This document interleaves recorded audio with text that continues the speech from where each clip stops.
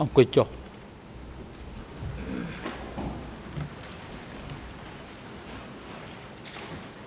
អង្គជំរះប្រកាសបន្តកិច្ចដំណើរការនីតិវិធីសមការលោកមិត្តវីតើលោកមានបំណងចង់និយាយអំពីបញ្ហាអីទៅលោកឲ្យនៅប្រធានបទដែលលោកមានបំណងនិយាយជាមុនពីព្រោះយើងបានប្រាប់ហើយយើងមិនបដិបដោយឲ្យភាគីណាមួយ ប្រើប្រាស់ពេលវេលាដែលយើងកំណត់ឲ្យការពិភាក្សាដេញដោលនៅទីនេះភាគីឆ្លៀតប្រើប្រាស់នៅពេលវេលានេះដើម្បីធ្វើដីថ្លែងការអ្វីផ្សេងផ្សេងរំខានឬក៏ធ្វើឲ្យអូសបន្លាយពេលវេលារបស់អង្គជំរះក្នុងការគ្រប់គ្រងកិច្ចដំណើរការសមនការនោះទៀតឡើយ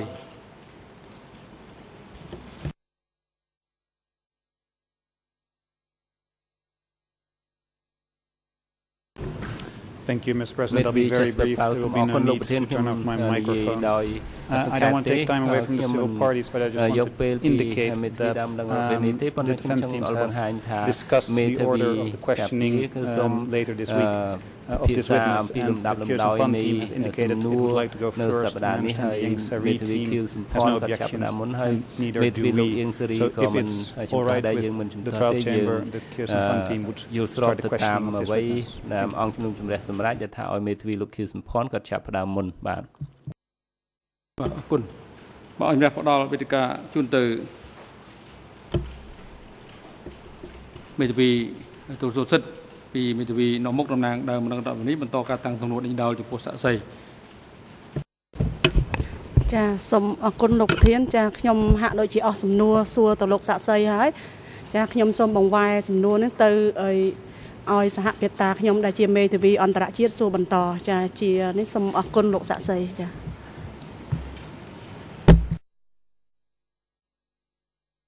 Som chơi.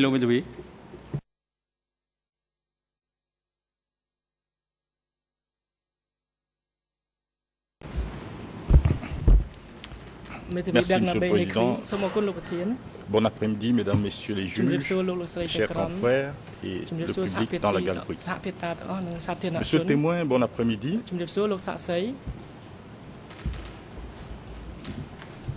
M'entendez-vous, Monsieur le témoin?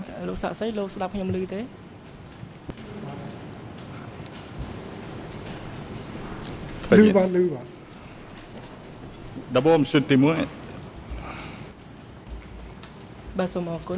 D'abord, monsieur le témoin, je voudrais vous dire que je suis ravi euh, de pouvoir m'entretenir avec un témoin qui maîtrise bien la langue française. Ce qui me permet d'espérer que nos échanges vont être d'autant plus faciles. Ma première question, monsieur le témoin, est de chercher à comprendre très bien euh, la substance de votre activité résiduelle en tant que responsable de la banque entre 1976 et 1979. Est-ce que ce serait bien le comprendre que de dire que votre activité se réduisait finalement à l'établissement des listes d'exportation et d'importation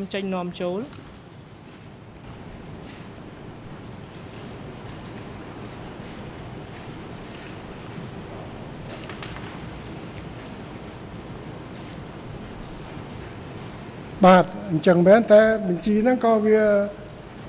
មិនពេញលេញដែរវាមិនទៅតាមលក្ខណៈនឹងថាការនាំចេញនាំចូលលើឆាកអន្តរជាតិនឹងគេធ្វើទៅតាមច្បាប់អន្តរជាតិវាវាមិនពេញលេញទៅតាមនោះទេមិនពេញលេញអញ្ចឹងទេសូមជំរាបម្ដងអត់ពេញលេញទៅតាមដូចថាទម្លាប់អន្តរជាតិដែលគេពេលនាំចេញត្រូវធ្វើអីនាំចូលត្រូវធ្វើអីអឺ មានតែឈ្មោះធនាគារអញ្ចឹងប៉ុន្តែអ្វីអ្វីវាមិនចូលតាមធនាគារទាំងអស់ទេហើយបើចូលក៏វាដាច់ដោចវាមិនមិនស្អីចេះស្អីដែរខ្ញុំដូចជាដូចជំរាបកន្លងមកវាគ្មានបញ្ជីអីកត់ត្រាទុកដាក់គ្មានអឺណានាជួយកត់ជួយអីម្នាក់ខ្ញុំវាហើយដល់30ឆ្នាំមកហើយវា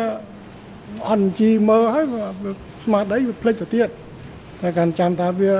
គ្មានឯកសារអីជាសំខាន់ថាយកអាចយកមកបរនីនោះនេះឲ្យច្បាស់លាស់គឺថាខ្ញុំមិនមានទេបាទជជាទ្រឹស្ដីវាអញ្ចឹងហើយត្រូវកត់ចូលកត់អីតែតែចាក់ដែងវាវាមិនមានអញ្ចឹងទេបាទ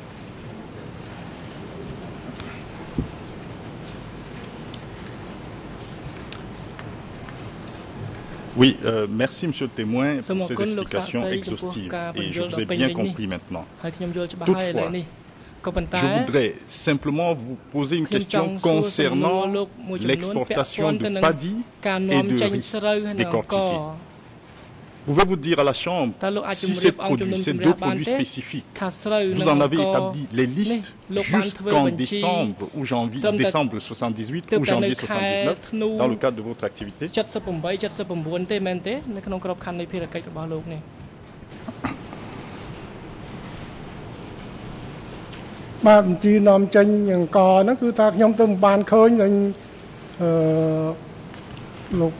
បាទបញ្ជីនាំចេញអង្គហ្នឹងគឺថាខ្ញុំទៅមិនបានឃើញនឹងអឺលោករាជអាជ្ញាបង្ហាញខ្ញុំពីព្រឹកមិញទេបញ្ជីតារាងអីផ្សេងផ្សេងនេះ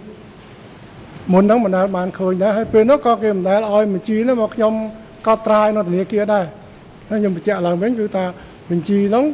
ខ្ញុំទៅនឹងឃើញពីថ្ងៃហ្នឹងគេធ្វើបៀបវាមិនខាងខាងគណៈកម្មការពាណិជ្ជកម្មគេអ្នកធ្វើគេធ្វើរាយការណ៍ទៅតាណាខ្ញុំមិនដឹងទេប៉ុន្តែអត់មានយកមកចោះបញ្ជីអីអឺ កន្លែងខ្ញុំឲ្យខ្ញុំចាំគឺថាខ្ញុំមិនមានទេបាទហើយដូច្នេះមិនដឹងថាអង្គស្រូវនាំទៅណាប្រមាណប្រមាណក៏ខ្ញុំមិនមិនអាចចាំបានព្រោះមិនមិនដែលឃើញបញ្ជីតម្រងហ្នឹងខ្ញុំមិនដែលឃើញផងទើបមិនឃើញថ្ងៃនេះ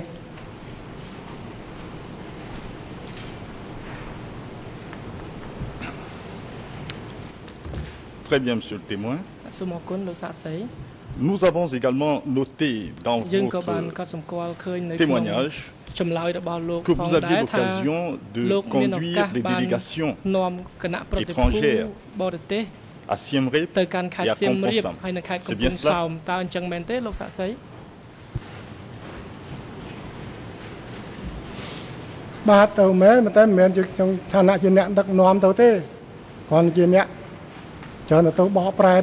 មែនតែមិនមែនជាក្នុងឋានៈជាអ្នកដឹកនាំទៅទេគ្រាន់ជាអ្នកច្រើនទៅបកប្រែទេបាទមិនមែនជាខ្ញុំអ្នកនាំគេទៅទេគឺគេឲ្យខ្ញុំទៅដើម្បីជួយបកប្រែជាភាសាបារាំង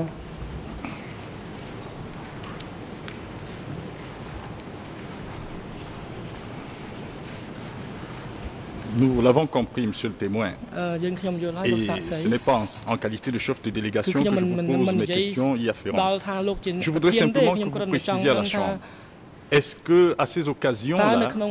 ces délégations demandaient à visiter certaines coopératives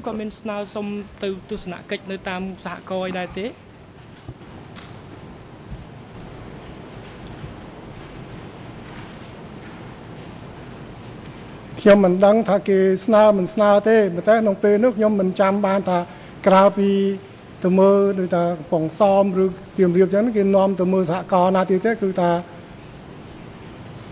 មិនដឹងថាគេស្នើមិនស្នើទេប៉ុន្តែក្នុងពេលនោះខ្ញុំមិនចាំបានថាក្រៅពីទៅមើលដូចថាកំពង់សោមឬសៀមរាបអញ្ចឹងគេនាំទៅមើលសហករណ៍ណាទៀតទេគឺថាមិនឃើញទៅទេខ្ញុំអត់មិនឃើញទៅទេបាទទៅហើយមកវិញអត់មានចូលសហករណ៍នេះសហករណ៍នេះក៏អត់ដឹងដែរបាទឬក៏ទៅពេលណាផ្សេងដែលគ្មានខ្ញុំក៏ខ្ញុំមិនដឹងដែរតែពេលនោះអត់មានទេបាទ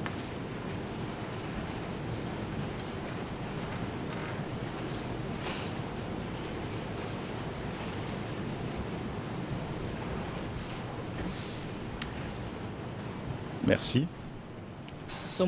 Sur le chemin entre Phnom Penh et ces différents lieux, enfin ces deux villes précisément, euh, aviez-vous, autant que vous vous en souveniez, monsieur le témoin, une idée de la situation alimentaire qui prévalait au moins dans euh, ces régions chez les populations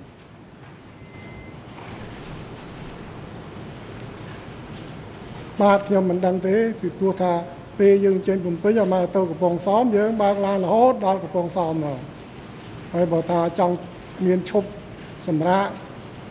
ទេសចៈអីទីជួយវាមានកន្លែងគេឈប់ទៅក្នុងមន្ទីរគេមួយកណ្ដាលផ្លូវអញ្ចឹងទៅផងថាធៀបការតាមសហករណ៍តាមជនបទអឺដោយមិនសង្កេតឃើញអ្វីទេបាទទៅទៅត្រង់ទៅមកមកអត់មានចូលមើលណាទេទេបាទ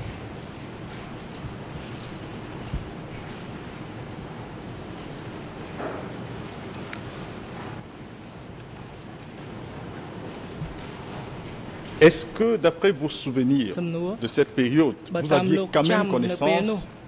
d'une quelconque dégradation de la situation alimentaire des habitants du pays à cette époque d'une manière, générale d'après vos souvenirs?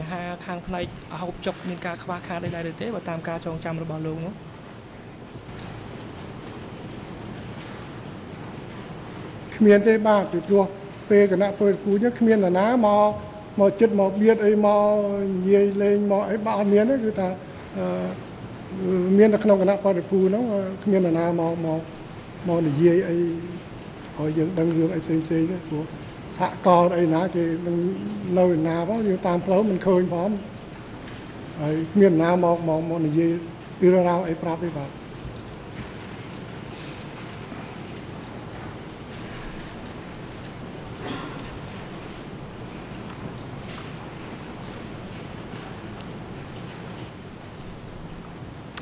Merci, monsieur le témoin.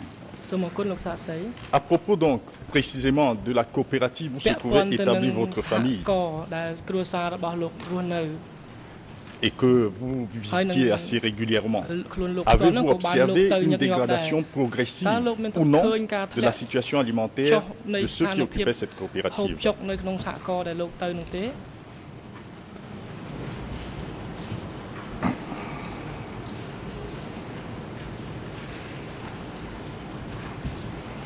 សហករណ៍នោះมันមានសង្កេតឃើញ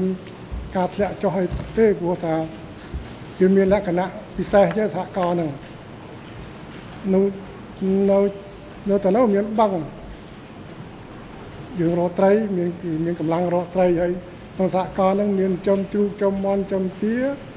មានស្រូវខ្លួនឯងដូច្នេះឃើញដូចជាតំណងมันមានការ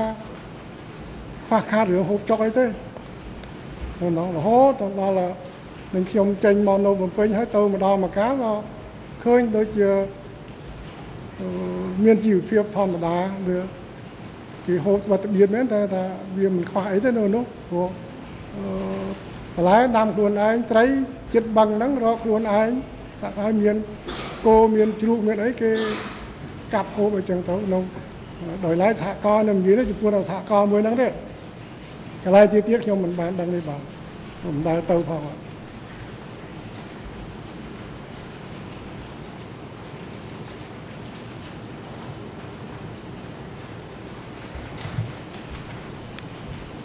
Merci, Monsieur Limout.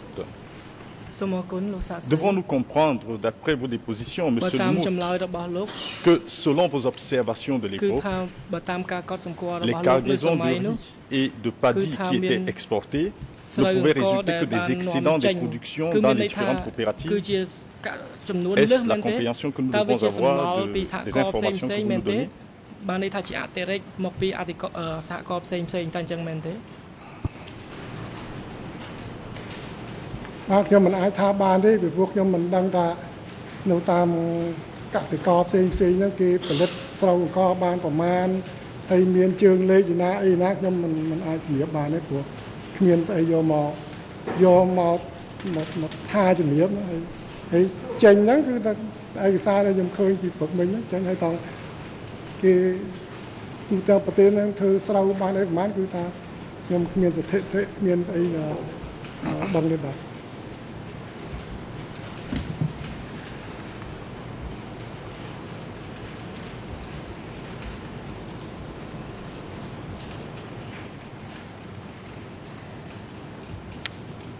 Merci pour cette réponse honnête.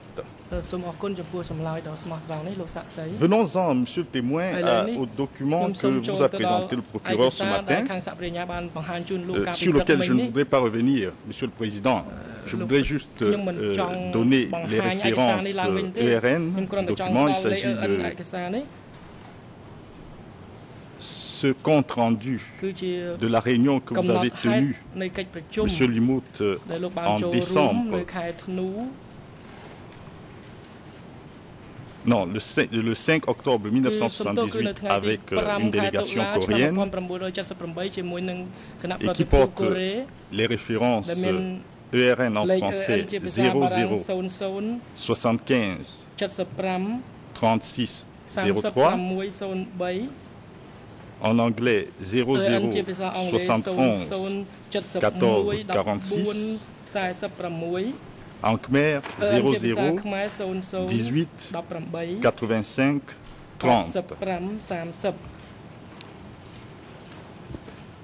Il s'agit de la réunion à laquelle vous avez pris part en lieu et place de M. Van Britt.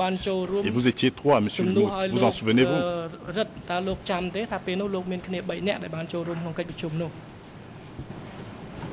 Je voudrais juste vous poser une question euh, concernant les personnes qui ont pris part dans la délégation cambodgienne à cette réunion avec vous. Il s'agit de pommes et de soins.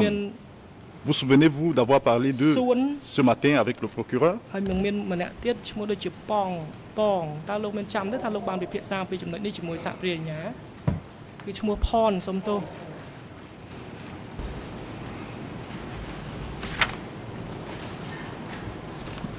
បាទឯកសារនេះខ្ញុំបានជជែកវិព្រឹកវិញហើយហើយក៏បានអឺបញ្យល់ម្ដងហើយហើយខ្ញុំក៏នៅសងនិយាយឡើងវិញចេះគឺថាខ្ញុំបញ្ជាក់ថាកាលណាប្រជុំជាមួយគណៈពលពូកូរ៉េខាងខ្មែរយើងត្រូវមានអាណាម្នាក់ចេះបារាំងដើម្បីបកប្រែហើយខ្ញុំទៅប្រជុំហ្នឹងមិនដឹងជាខ្ញុំគ្រាន់ជាអ្នកជួយបកប្រែក៏មិនដឹងហើយ អ្នកនៅឈ្មោះផននិងឈ្មោះសួននេះខ្ញុំមិនច្បាស់ទេប្រហែលជាកម្មាភិបាលថ្នាក់មធ្យមណាអីដែលនៅក្នុងក្រសួងពាណិជ្ជកម្មដែលគេដឹងរឿងរ៉ាវខ្លះខ្លះពួកនោះនេះនិយាយពីរឿងកូរ៉េគេថាចង់បានស្អីហើយយើងនេះអឺអ៊ុយក៏ប៉ុណ្ណឹងគឺថាហើយក៏មិនមាននិយាយច្បាស់ថា ខ្ញុំនេះជាប្រធានដែរហើយបើតាមទម្លាប់គឺថាអាចខ្ញុំទៅនោះវាជាជាអ្នកបកប្រែទេក៏មិនដឹងពីព្រោះខ្ញុំមិនអាចយករឿង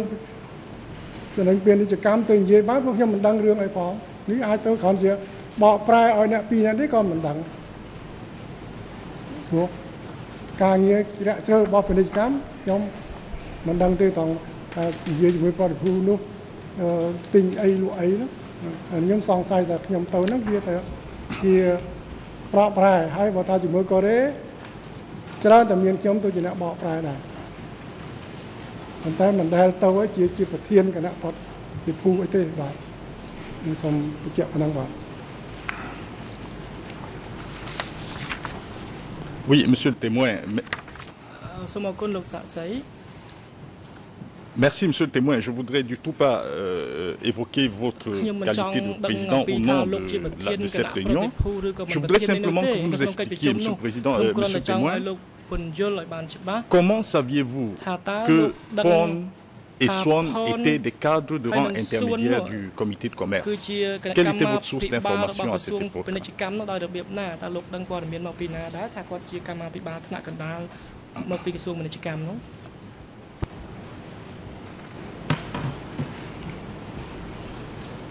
ពីព្រោះពីព្រោះថាអ្នកទាំងអស់ហ្នឹងដូចជាធ្វើការនៅក្នុងក្រសួងពាណិជ្ជកម្មក្រៅប្រទេសហ្នឹងណាមិនដឹងជាអឺកម្មាភិបាលកម្រិតណាទេប៉ុន្តែក៏មិនមែនគណៈសមាជិកគណៈកម្មាធិការក្រសួងទាំងមូលដែរតែជាអ្នកថាយើងតាក់ខាងក្រោមចេះបច្ចេកទេសដឹងរឿងរ៉ាវទៅហើយខ្ញុំក៏ភ្លេចមុខភ្លេចអីគាត់ហើយឈ្មោះហើយ នឹងហនសួនហ្នឹងតែគាត់មិនមែនជា សមាជិកគណៈកម្មាធិការពាណិជ្ជកម្មទេ អាចជាខ្ញុំបានថាជាអ្នកកម្មាអ្នកអ្នកកដាលឬថាយើងឥឡូវនេះវាអ្នកឋានៈ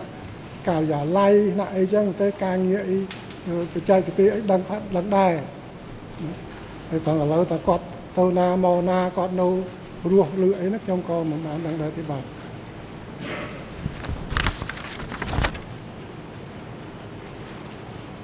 Oui, alors, et cette information, est-ce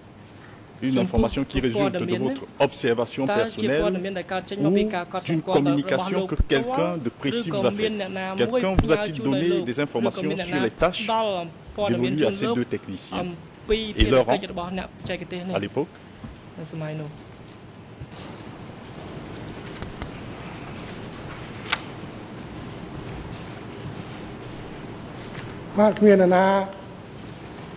ប្រាប់ខ្ញុំទេប៉ុន្តែដល់ទៅប្រជុំទៅកាលដល់និយាយទៅយើងដឹងថានៅហ្នឹងវាគាត់ថាគេនៅខាងខាងផ្នែកហ្នឹងយើងដឹងថាគេនៅក្នុងផ្នែកពាណិជ្ជកម្មហ្នឹងហើយតែអត់មាននរណាថាអឺប្រកាសថាគាត់ឋានៈបណ្ណាបណ្ណាក៏មិនមិនមានទេបាទតែទៅធ្វើការទៅបានឃើញថាគាត់ហ្នឹងវាវានៅក្នុងនៅក្នុងក្នុងក្នុងក្រសួងពាណិជ្ជកម្មហ្នឹងហើយ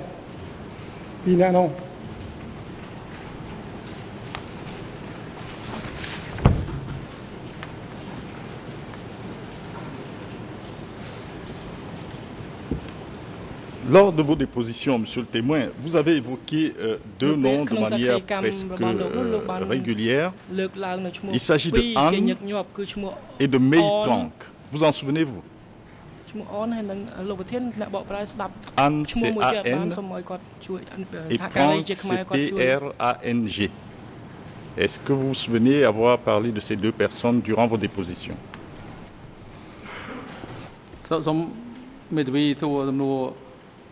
ចុងក្រោយមិញសាជាថ្មីម្ដងទៀតហើយសួរឲ្យបានយឺតហើយនឹងអាននៅឈ្មោះមនុស្សដែល មានការពាក់ព័ន្ធនឹងទំនួលនេះឲ្យបានច្បាស់ហើយក្នុងករណីមិនច្បាស់អាចសហការីមេធាវីមុខតំណាងដើមនឹងរដ្ឋវិនីអាចនិយាយឲ្យចំនៅនៅឈ្មោះមនុស្សដែលពាក់ព័ន្ធនឹងការតាំងទំនួលនេះសូមអញ្ជើញ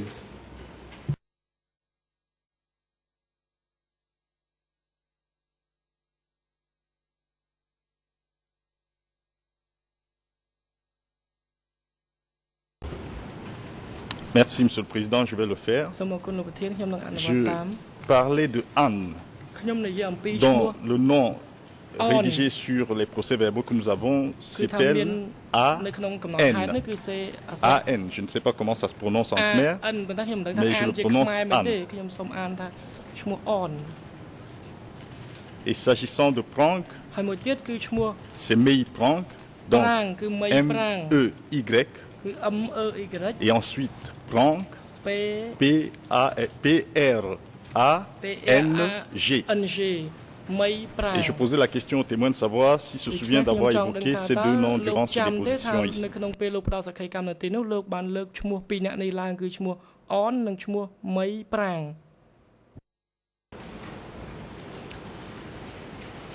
បាទចំពោះអនហ្នឹងគឺខ្ញុំបានជំរាបមួយមកហើយ ពីដល់ពេលខ្ញុំគឺយកខ្ញុំមកពីសហករណ៍មកមកភ្នំពេញហ្នឹងគឺតែនៅស្នាក់នៅកន្លែងក្បែរ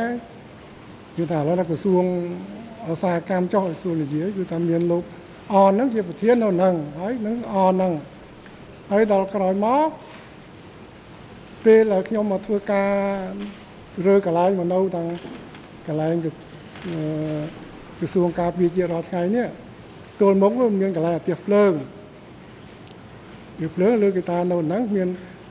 មួយមិត្តប្រាងធ្វើប្រធាននៅហ្នឹងតែខ្ញុំមិនដែលបានជួបគាត់ទេហើយខ្ញុំបានជំរាបអឺអ្នកស៊ើបអង្កេតពេលនោះថាខ្ញុំឮឈ្មោះអញ្ចឹងមកប្រាងជាប្រធានថាអាទិះភ្លើងតែខ្ញុំមិនមានអឺដែលបានជួបគាត់ទេមិនដែលបានប្រជុំឲ្យជាមួយគាត់បើមានការងារអីទៅ ទៅទៅពាក់ព័ន្ធជាមួយគាត់ទេតែគាត់ថាកន្លែងមនុស្សទល់មុខនេះមកខាងម្នាក់ចឹងវានៅខាងទៀបលើខ្ញុំនៅខាងណានឹងប្រាងនឹងបាទ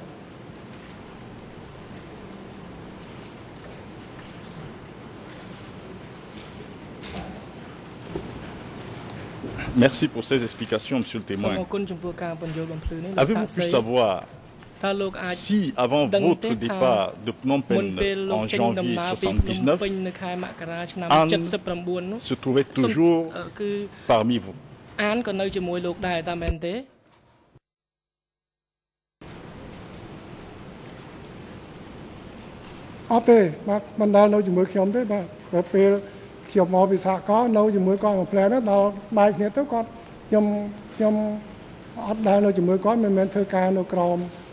អានក៏នៅជាមួយលោកដែរតាមមែនទេអត់ទេបាទមិនដែលនៅជាមួយខ្ញុំទេបាទពេលខ្ញុំមកពីសហករណ៍នៅជាមួយគាត់មួយផ្លែនោះដល់បែកគ្នាទៅគាត់ខ្ញុំខ្ញុំអត់ដែលនៅជាមួយគាត់មិនមែនធ្វើការនៅក្រោមគាត់ឬអែបជាមួយគាត់នៅសហការទៅជាមួយខាងពាណិជ្ជកម្មទេគាត់នៅឧស្សាហកម្មនោះ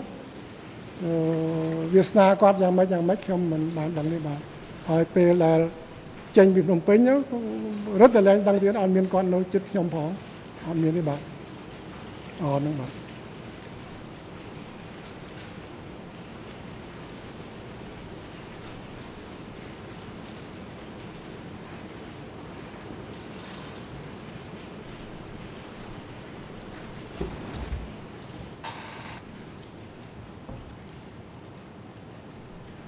Vous avez indiqué, monsieur le témoin, euh, tant à messieurs les procureurs qu'à ma consoeur euh, de la partie civile nationale, que lorsque vous constatiez euh, certaines disparitions dans vos services, cela vous faisait peur, enfin, dans les services du commerce ou dans les environs, cela vous faisait peur. Et vous vous interrogez. Alors, la question que je vous pose est de savoir,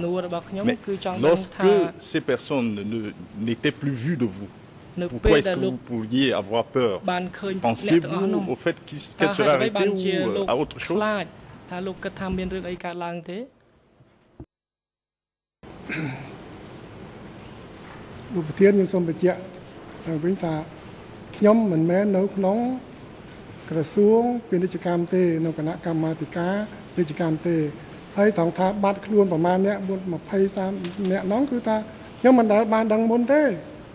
ទេលោកប្រធានខ្ញុំសូមបញ្ជាក់វិញថាខ្ញុំមិនមែននៅក្នុងក្រសួងពាណិជ្ជកម្មទេនៅគណៈកម្មាធិការពាណិជ្ជកម្មទេហើយត្រង់ថាបាត់ខ្លួនប្រមាណអ្នក20 30អ្នកនោះគឺថាខ្ញុំមិនដែលបានដឹងមុនទេទើបមកដឹងពេលសវនាការនេះទេដែលយកឯកសារមកឲ្យខ្ញុំមើលពីមុនខ្ញុំអត់ដឹងទេហើយដែលថាខ្ញុំខ្លាចបារម្ភនោះគឺថាអឺថានៅក្នុងអឺក្រសួងនេះមានឃើញគឺថាគេម្នាក់មិនមិនឈប់ធ្វើការនៅទៅចិត្តថាបារម្ភទៅតាមបរិយាកាសហ្នឹងហើយថាឲ្យខ្ញុំភ័យខ្លាចដោយសារប្រមាណ20នាក់ហ្នឹងខ្ញុំអត់ដឹងទេរឿងពេលនោះខ្ញុំអត់ដឹងទេ20នាក់ប្រមាណនាក់នោះ ទើបមកឃើញឯកសារថ្មីថ្មីនេះទេណាដូច្នេះមិនមិនសំអាងការព្រួយបារម្ភខ្ញុំទៅលើប្រមាណអ្នកនោះទេខ្ញុំអត់អត់បានដឹងទេបានដឹងច្បាស់ទេអានេះខ្ញុំសូមបញ្ជាក់ឲ្យម្ដងទៀតឯកសារនៃផ្ញើទៅស21សអីគឺថាខ្ញុំមិនបានដឹងសោះទើបមកឃើញពេលសវនាការនេះ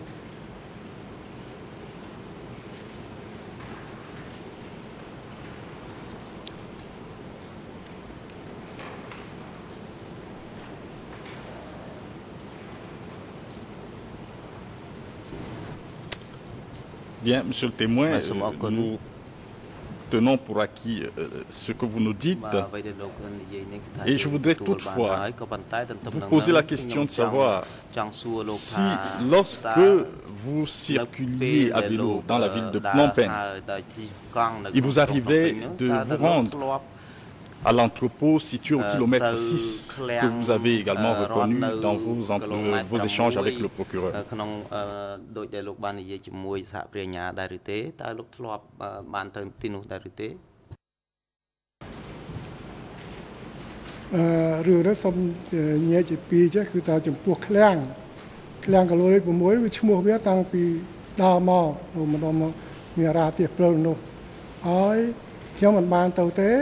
ក្នុងដោយដែលលោកបាននិយាយជាមួយសហប្រញ្ញាដែរឬទេតើលោកធ្លាប់បានទៅទីនោះដែរឬទេអឺរឿងនេះសូមញែកជាពីរចេះគឺថាចំពោះឃ្លាំងឃ្លាំងគីឡូ6វាឈ្មោះវាតាំងពីដើមមកម្ដងមកមានរាទៀសព្រើនោះហើយខ្ញុំមិនបានទៅទេឃ្លាំងហ្នឹងគាត់ទៅស្គាល់ឈ្មោះប៉ុន្តែតសម័យកម្ពុជាជាបតៃនេះគេយកដាក់ឈ្មោះតដែលហ្នឹងឃ្លាំងហ្នឹងព្រោះហ្នឹងមានឃ្លាំងអង្គឃ្លាំងអីមានស្រាំ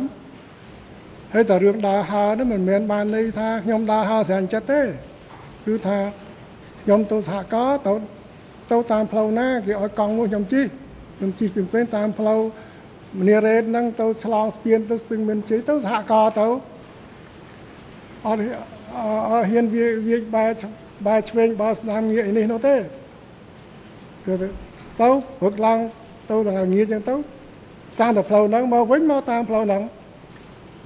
ព្រោះតាតាតាវាវេមានគេសួរកន្លែងយើងសួរដល់អ៊ំឯងពួកឯងមកហ្នឹងមានការអីដូច្នេះខ្ញុំមិនអាចថាថាសេរីហើយថាឲ្យសេរីដើរទៅសហគមន៍ខ្ញុំឆ្លៀតដើរទៅអូនេះរនោះសួរនេះស្អីអត់ហ៊ានទេបាទហ្នឹងគឺជំរាបថា ទៅសហការទៅសហការមកវិញមកវិញមានដើរហើហ្នឹងថាមានសិទ្ធដើរហើស្រាញ់ចិត្តទេហើយឃ្លាំងហ្នឹងឮតែឈ្មោះឃ្លាំងលរីមួយវាមានឈ្មោះហ្នឹងតាំងតាំងពីដើមមកហើយជាឃ្លាំងជាឃ្លាំងគេដាក់ស្រូវដាក់អង្ករតាំងពីដើមមកថងខ្ញុំមិនដែលទៅទៅបានទៅចូលមើលពេលសម័យកម្ពុជាជាធិបតេយ្យហ្នឹងគេដាក់អីដាក់អីខ្ញុំមិនដែលបានទៅទេអានោះវាជាការងាររបស់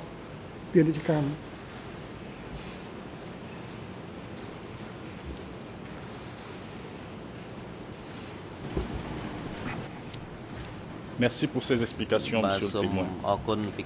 Pouvez-vous nous dire, Monsieur le témoin, à quelle fréquence vous arrivez de vous rendre au port de Kamponsom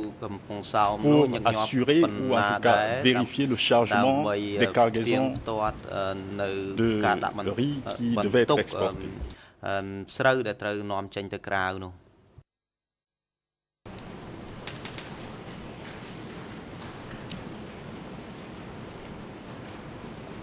អាហ្នឹងគឺខ្ញុំសូមវិញ្ញាដែរ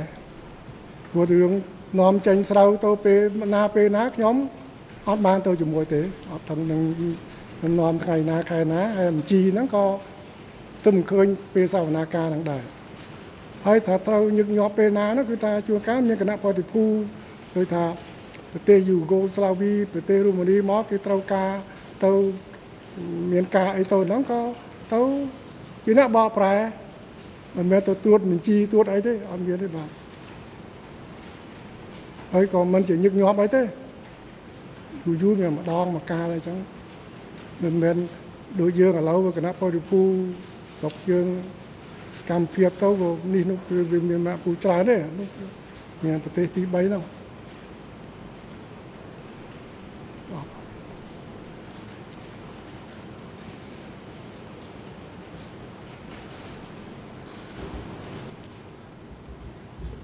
Peut-être ai-je mal compris votre réponse euh, à ma consoeur tout à l'heure, monsieur le témoin, lorsque vous lui avez dit que vous alliez souvent aussi à Kamponsom pour assister au chargement des, des marchandises. Est-ce que vous l'avez dit ou non Ou alors je me souviens mal de ce que vous avez dit.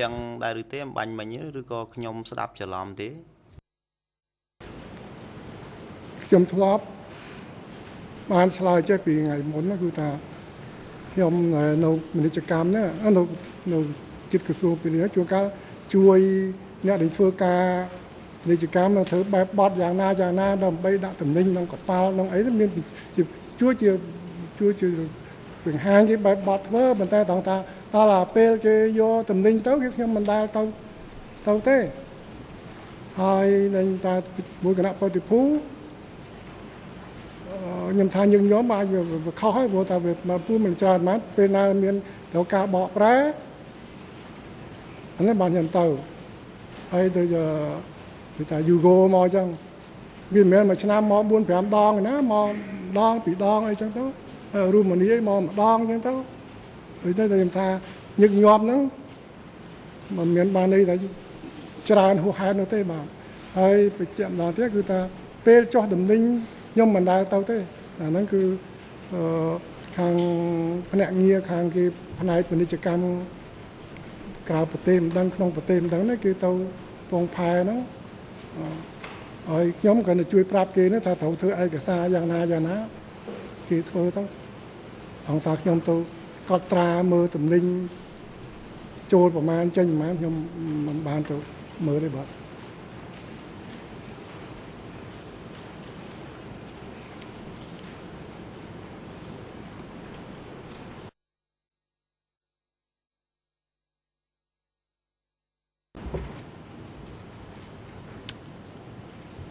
Très bien, monsieur le témoin. Autant que vous vous en souveniez, euh, monsieur le témoin,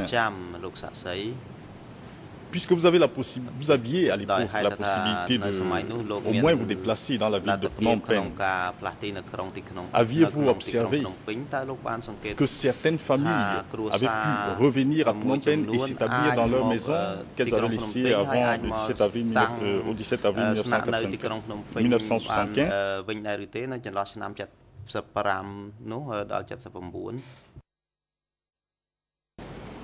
អត់ខ្ញុំមិនអាចឆ្លើយបានទេបាទ ពីព្រោះនៅភ្នំពេញមែនតែមិនមែនដើរហើរទៅកន្លែងនេះកន្លែងនោះបានទេដឹងថាអឺពីកន្លែងដែលយើងនៅហើយទៅលេងគ្រួសារម្ដងម្កាលត្រង់ថាមានអាណាមានសិទ្ធមកនៅកន្លែងណាកន្លែងណាខ្ញុំមិនអាចបញ្ជាក់ជូនបានទេ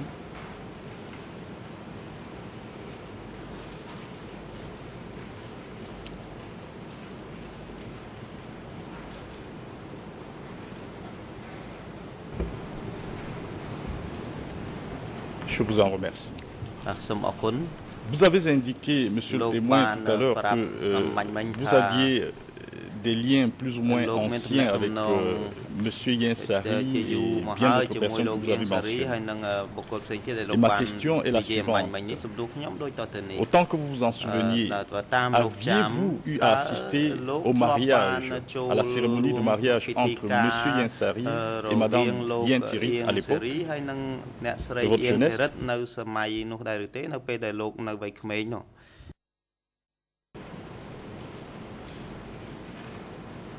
ខ្ញុំមិនចាំថាបានឬមិនបានទេខ្ញុំមិនចាំទេបាទហើយតាមពីមើលទៅគាត់ដូចជាការនេះនៅនៅស្រុកបារាំងនោះខ្ញុំនៅស្រុកខ្មែរខ្ញុំមិនបានរួមទេបាទខ្ញុំមិនបានរួមទេបាទ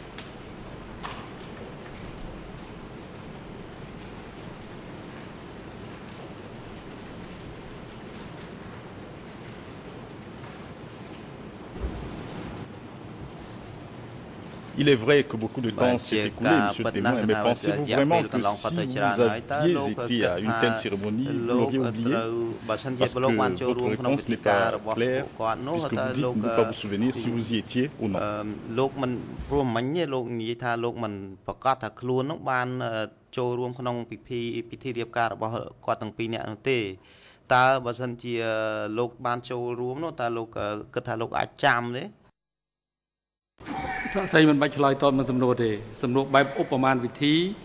អង្គជំរះមិនអនុញ្ញាតឲ្យសាក់សីឆ្លើយតបទេពីព្រោះវាមិនអាចនាំឲ្យស្វែងរកការពិតបានឡើយ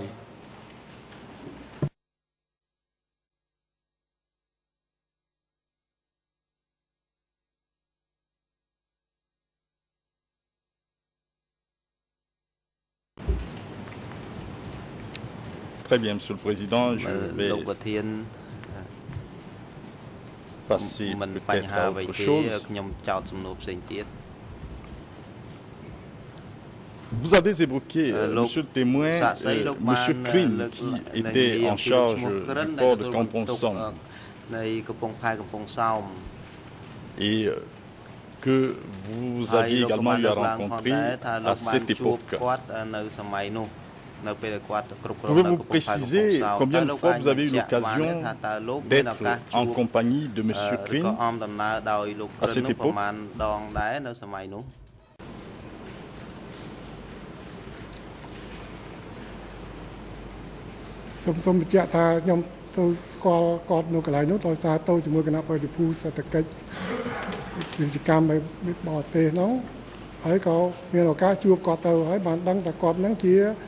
បញ្ជាក់ថាខ្ញុំទៅស្គាល់គាត់នៅកន្លែងនោះដោយសារទៅជាមួយគណៈបរិភូសេដ្ឋកិច្ចវិជ្ជាកម្មបរទេសនោះហើយក៏មានឱកាសជួបគាត់ទៅហើយបានដឹងថាគាត់នឹងជាប្រធានកំពង់ផែហើយតង់ថាប្រមាណដងប្រមាណដងខ្ញុំមិនចាំទេបាទកាន់តបានជួបហើយក៏ដឹងតែគាត់ជាប្រធានអឺផែមកក្រិនហើយពីមុនមកក៏មិនដែលស្គាល់គ្នាដែរទេ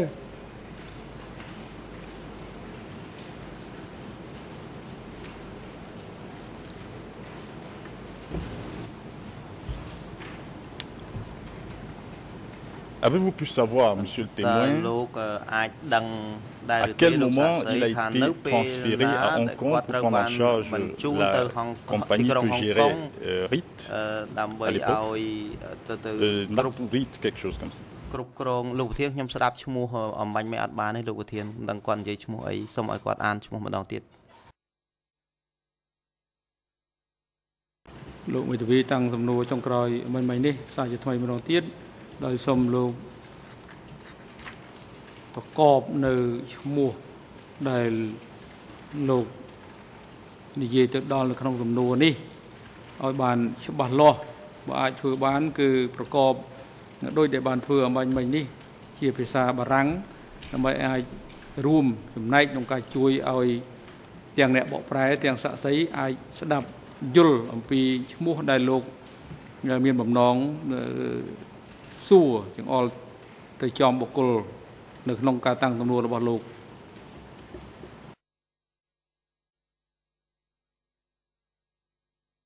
Oui, Monsieur le Président, effectivement, je dois le faire. Je posais la question au témoin de savoir s'il a su quand exactement le crime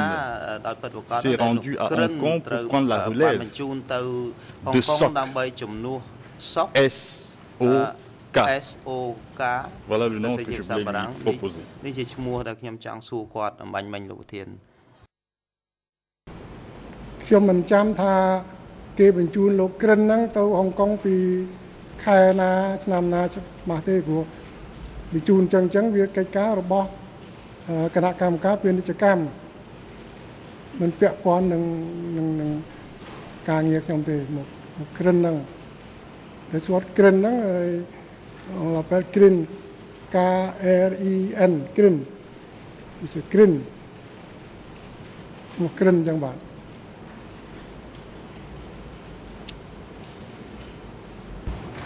Merci monsieur le témoin បាទសូមអរគុណលោកសាក់សី Enfin, monsieur le témoin, je voudrais évoquer un tout petit peu euh, vos relations avec M. Van Riet.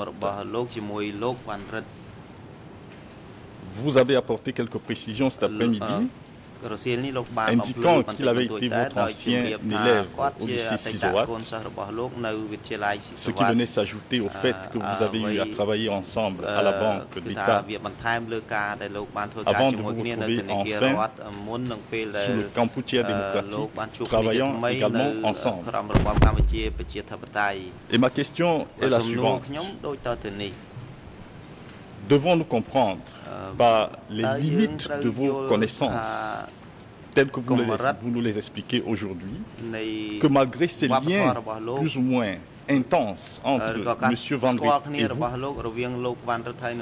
lors de vos déplacements, aucun échange n'était fait entre lui et vous sur les questions liées au comité de commerce qu'il gérait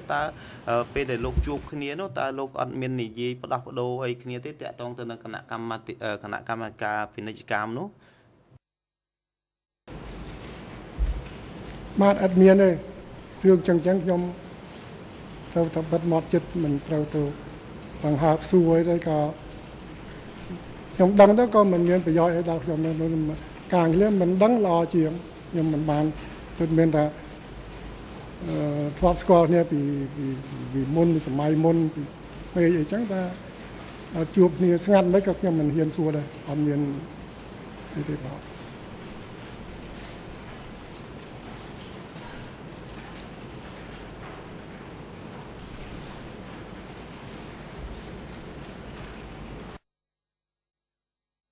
crois que je vais arrêter.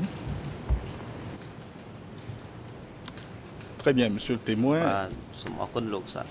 Voilà qui va mettre un terme à notre entretien de cet après-midi. Je vous remercie d'avoir bien voulu répondre à toutes mes questions. Monsieur le Président, Mesdames et Messieurs les juges, je pense que la partie civile arrête ici son interrogatoire du témoin Sakim Lemou et je vous remercie pour votre attention.